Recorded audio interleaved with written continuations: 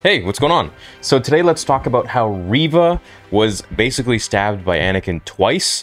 Uh, well, Anakin once and Vader once. So in total two times. Uh, she got stabbed as a youngling, survived, and then got stabbed again.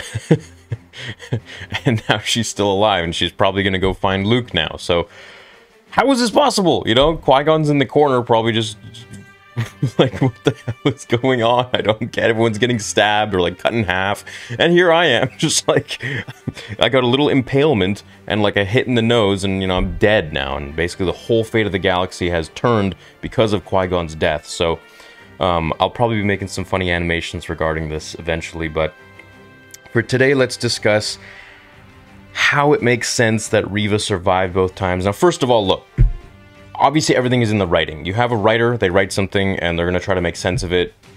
And that, you know, all I'm trying to do is make sense of how that could even fit in. Obviously, it makes absolute no sense that Reva as a youngling would survive getting stabbed in the stomach or chest or whatever by Anakin during Order 66.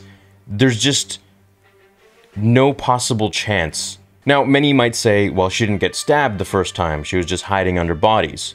No, she got stabbed. If you go back and look at the scene, you can see how they integrated the Order 66 scene where Anakin looks at her, looks down at her, thrusts in, then it gets the shot of her, of Reva as a kid, as a youngling, and she is basically, you know, stabbed in. Get this the shot of Vader stabbing Reva, grown Reva. She makes the same exact face that little kid Reva made when she was stabbed, and they both have the same falling uh, scene from the point of view where they fall and things get hazy and Anakin is over them and Vader is over her.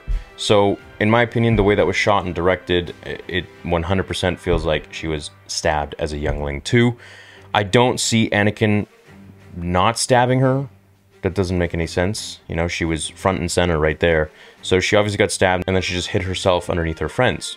Now, the second piece of proof I have that she got stabbed is that the Grand Inquisitor walks in and he says, and I quote, Revenge does wonders for the will to live. So, two meanings, meaning his own will to live when she stabbed him in the stomach, and also her will to live when she was stabbed by Anakin as a youngling. So, essentially, what I gather from this is that Reva used the dark side as a kid and she used her need for revenge as a kid to avenge her friends who she was hiding under and everything she saw at the Jedi Temple. Now, obviously, is this realistic? Absolutely freaking not. It is just there for plot armor and plot point that she was um, basically subjected to Anakin's atrocities, and she was so scarred that she spent the rest of her days trying to infiltrate the Inquisitors so that she could move up in ranks and try to defeat Vader. Now, I think this is the most like it makes sense, but it's also like as a, as it's just such a weak story point. Now, there also comes different questions, such as how did she bleed her crystal? Because we know now in Star Wars, whenever you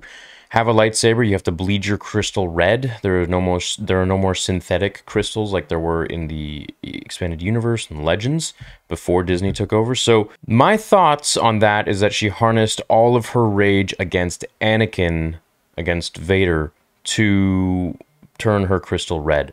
So that's the answer to that, I think. This is obviously a character who is driven by hatred, driven by pain. And while she was a Jedi, it seems that Anakin's actions by slaughtering her friends and her, or attempting to, and failing, created a certain sort of anger in her, obviously, naturally, and uh, that in turn took her to the dark side. But, you know, when you're in the dark side, you still have certain um, emotions and you still have, you know, it's not like you're you're under Order 66 where you're like completely changed as a person and you just have to follow an order. You're just using a different aspect of the force, but your motives and um, your values are still the same. So at this point, she hated Obi Wan Kenobi for failing Anakin, who in turn slaughtered her and her friends and turned into Darth Vader. So she kind of like went up the food chain a little bit. She's like, well, Anakin did this to me, so I'm gonna go after, you know, his parent who like just trained him horribly and like raised him horribly kind of thing, which is Obi-Wan Kenobi. Now, why she didn't go a step further than that, like, I don't know, try to find Qui Gon's ghost or something. I mean, hey, whatever. Maybe, maybe we're going to find out in episode six. But as for now, that is what essentially makes sense in my mind when it comes to Reva surviving. Now, again, I think it is so ridiculous. There is no way a little youngling would survive getting stabbed by Anakin's saber. It just doesn't make any sense. Like having a hard enough time surviving as an adult as she is getting stabbed, where like the the wound would be like let's say what like that big. As a kid, that hole's gonna be like it's hey, but it's you know they needed to make a show and they wanted to have Reva be this character that uh, needed revenge and whatever. I personally I would have chosen her to just not have been stabbed at all by Anakin and maybe just you know having hid really well or escaped somehow and watching like from beyond a pillar and seeing Anakin just march through the temple and like doing all of these atrocities and all these horrible things to the Jedi. And maybe one of the clones being like Lord Vader what about the west wing or whatever? We need to head over there and she would put two and two together that when Vader becomes who he becomes uh, in the suit, then she's like, okay, well, I got to rise the ranks now, which also doesn't really make sense. It's like, what do you expect is going to happen? You're going to work all these years to build trust with the Inquisitors, to perform your own atrocities against the galaxy. Like that poor woman in the village, she's like sliced off her hand. You know, uh, the Jedi herself, uh, she killed the random, what was his name? Like Navi or something.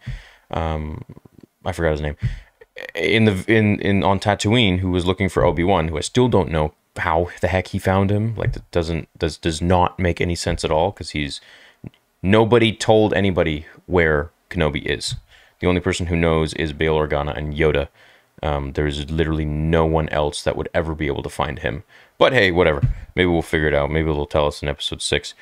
There's just a lot of inconsistencies with the show with um, previous canon, and I, I understand they're rewriting the whole canon again. They they just want to like do their own thing. I get that, but at the same time, you can't stop but just think, well, this is just kind of weird. Like I don't know. Like, I mean, I remember, you know, when we were seeing the flashbacks of Order 66 from Grogu's perspective, the 501st were just like they would shoot the Jedi and they would repeatedly just blast them on the ground when they were already lifeless for like minutes. And then also like on Felucia during Order 66 when they were firing upon Aayla Secura. Bro, there were like 50 clones there and they were just firing upon her and she was just lifeless and it just kept going and going and going as it like pushed out, you know? So, I mean, it's such a one in a billion chance that she survived that. Um, how did she heal? You know, who healed her? I suppose we're going to get some sort of a read of a backstory now, probably. But, anyways, that's how I think she survived and made it through. Obviously, anger and revenge are ways that um, she was able to survive. Now, Qui Gon, of course, I guess he was ready to just move on, even though he felt destined to train the boy and he felt like he needed to teach Anakin the ways of the Force, as the will of the Force made sure that he brought him, you know, brought him together for whatever reason. I guess he couldn't hold on, and I think that's just a better story. You know, of course we we saw that Anakin was um, trained by Obi Wan Kenobi, and Qui Gon wouldn't have made sense. So they, you know, George had to introduce Qui Gon and then leave him out of the picture eventually, but. I believe that we should keep things like that of, you know, Jedi dying when they're stabbed or whatever. I think that makes more sense. But I think Sith who are already in the dark side and know how to draw upon their anger and emotions, dying doesn't really make sense. Because with a Sith, the more you draw upon your dark side and your anger and your pain, the more powerful you become, which in turn sustains your life. So dying is kind of very difficult for a Sith unless you like cut their head off entirely. And it really depends on how angry they are. So for me, her getting stabbed and surviving, yeah, I get it. You know, the Inquisitor explained that she, it was her anger and her need for revenge that fueled her and kept her alive. But also, she's a youngling. Like she doesn't really know much about the Force. She doesn't really know how to use the Force. Or like she's a youngling. This is the most basic level of Jedi. You know that this is like you're a little kid. So her being able to survive a big gut wound like that from the chosen one is just really far fetched and, in my opinion, just lazy writing. Like, just have her peeking from a wall, you know, and being like flabbergasted or being like completely just hurt at what she's seeing. But, anyways, that's that. That's how I ex- would explain that. That's my theory behind it. Let me know what you guys think. How else would you have had Reva be in the show, if at all?